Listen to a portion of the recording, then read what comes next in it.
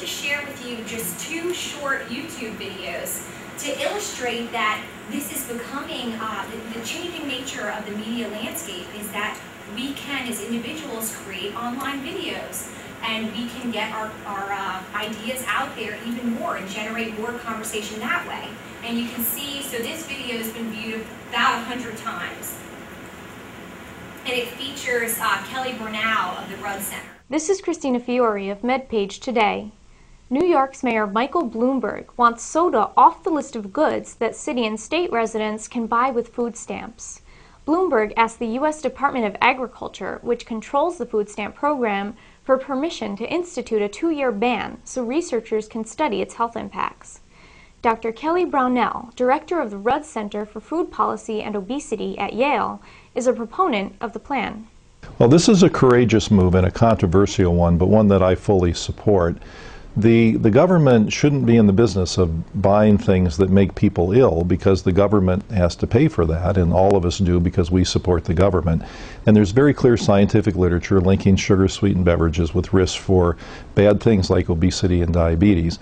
So the government is, this program is called the SNAP program, the Supplemental Nutrition Assistance Program. And nobody says that there's nutrition in soda. It's basically empty calories. So the government shouldn't help, have to help pay for that. Brownell says it shouldn't be seen as a reduction in benefits. One thing this program is not is a reduction in benefits. People would still have the same amount of benefits, and hopefully it, it could get used to buy healthier foods, which benefits everybody, including the people who are buying the food.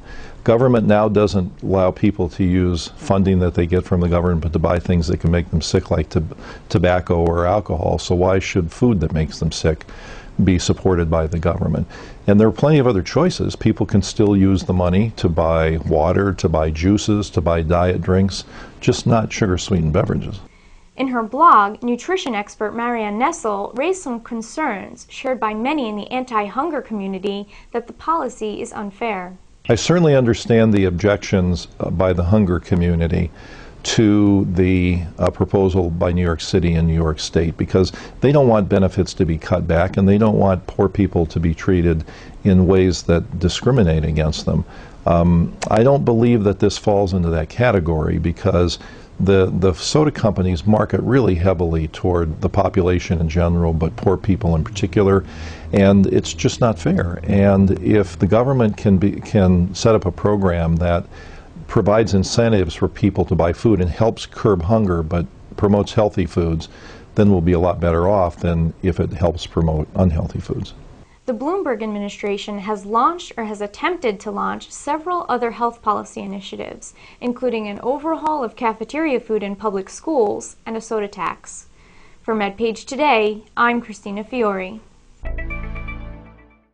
So that's one online video that presents some of the concerns related to this policy, but you can see it's it's much more geared, I would argue, towards the positive side, the you know being in favor of this policy. But pretty easy for her to create. Uh, this isn't complicated, and she's got you know one compelling interview source that she's uh, presenting this information to and getting his feedback, and then she puts it online on YouTube, and people watch it, and it influences what they think about this issue. Secondly, we have more of a community uh, generated video, and uh, I want you to pay particular attention to the various visuals that this gentleman uses as he's talking about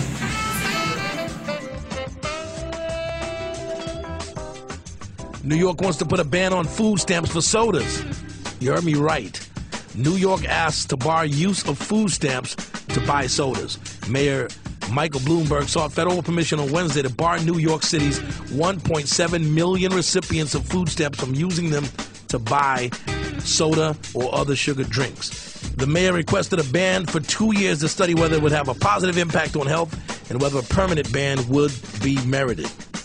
That's crazy. New York State, which administers food stamps locally, signed on the request, which was received by the Agriculture Department on Wednesday evening. And in 2004, the Agriculture Department denied the same kind of request by Minnesota to prevent food stamp recipients from buying junk food. The department said that the plan, which focused on candy and soda among other foods, was based on questionable merits and would perpetrate the myth that food stamp users made poor shopping decisions. I don't know about this one. City statistics released last month show that nearly 40% of public school children in kindergarten through eighth grade were overweight or obese, and the obesity rates were substantially higher in poor neighborhoods. City studies show that consumption of sugared beverages is consistently higher in those neighborhoods. In other words, poor people are fatter than everyone else, so we gotta blame sugar. I don't know. The ban would affect beverages with more than 10 calories per 8 ounces and would exclude fruit juices without added sugars, milk products, and milk substitutes. So the word sugar from fruit juice is good, but anything else is bad. A 12 ounce soda has 150 calories and the equivalent of 10 packets of sugar, according to the health department. City health officials say that drinking 12 ounces of soda a day can make a person gain 15 pounds a year.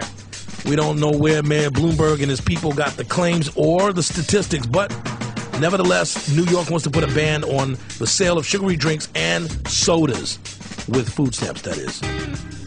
Let me know what you think. You can hit me up on my Facebook at Quadir Shakur or call my message line 206 279 0516. It's yours truly, the unruly Quadir Shakur. Real talk from a hip hop perspective. You can see, I mean, a very, uh, very different approach, but similarly, he's outlined the plan. He's talking about the issues, what might concern people, and um, asking for people's feedback.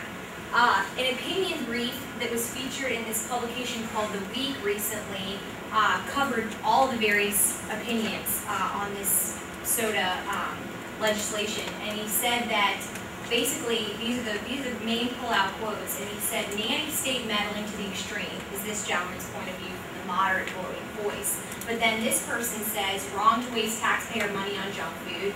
Someone else says, do we really want to sacrifice some degree of liberty for the war on soda pop? So just showing you the range of perspectives on this um, on this policy initiative. But what is what does this basically tell us? We still don't know what the USDA is going to say about this proposal. We're still waiting on a formal decision from them. But what it does tell us is that all of this publicity, all the people talking about this, means that they obviously care about the issue. It's important. And, um, you know, that sends a message to USDA that perhaps even if they, regardless if they decide to accept New York City's proposal or not, it tells them that this is important, that people are really concerned about obesity in this country. Uh, people, it affects a lot of people. There are some social justice issues. We've got to be careful about how we address it, but maybe what we're doing isn't enough. And, uh, you know, we might be considering some different proposals in the future in order to combat this problem. So a, a good media advocacy example, and we'll see where it goes. So that's all I have prepared for you all, but I'm happy to take questions if anyone has any. And I would like to say, definitely try to make the other two seminars this semester because they're going to be really good and they're going to apply the skills, some of the skills that we talked about in here, like newsletters. The next one is focused on how do you write a newsletter for a nonprofit organization, which is a really useful skill. And many of you will find that you'll be doing that in your future careers if you're not doing it already. And then after that, we have um, Terri Troncale from the Times-Picayune coming to discuss how one can successfully write a letter to the editor in an op-ed and get it published. So, you know, today we're just sort of introducing the concepts and telling you that as public health practitioners, you have the credentials and you really have the responsibility to be active media advocates and you can make a difference.